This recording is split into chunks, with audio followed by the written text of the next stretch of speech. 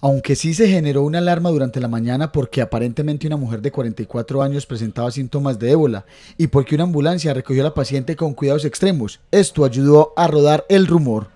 Por su parte, la Secretaría de Salud de Medellín aclaró la situación y desmintió que la mujer tuviese ébola.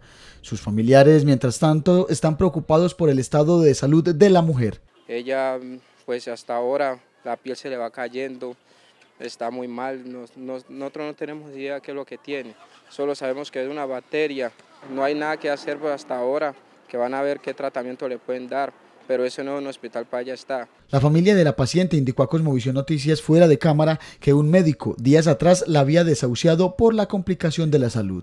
Por su parte, la Secretaría de Salud aseguró que el cuidado especial de la mujer es muy complejo y por esta razón no la habían recibido en ningún hospital.